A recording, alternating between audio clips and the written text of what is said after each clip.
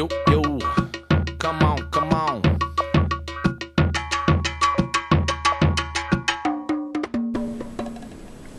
Welcome to Your Top Stories. I'm Rich Mansfield. Let's get started. Memorial services were held for Michael Jackson with a star studded array of mourners and performers.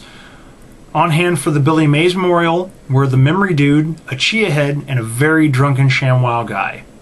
He's taking it very hard. Uh, with the deaths of Michael Jackson, Ed McMahon, David Carradine, and even the consummate celebrity game show guest, Fred Travalena, 70s and 80s pop culture has really taken a hit. We pray for Ann B. Davis, Tom Wopat, and Peter Scolari. Godspeed, my children.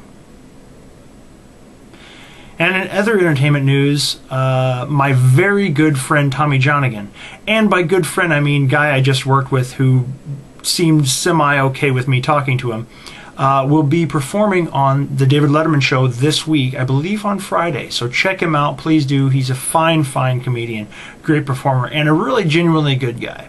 So check him out.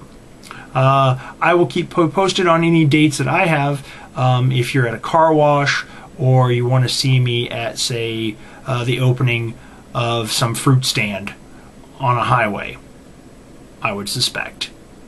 Um, that being said, this has been your top stories. Thank you, and good night. Now every evening, when all my days work is through, I call my baby and ask her what we could do. I she doesn't seem to dig that, and then she asks me, why don't I come to her flat and have some supper and let the evening pass by by playing records, the sounds of groovy hi-fi. I say yeah yeah, that's what I say. I say yeah yeah.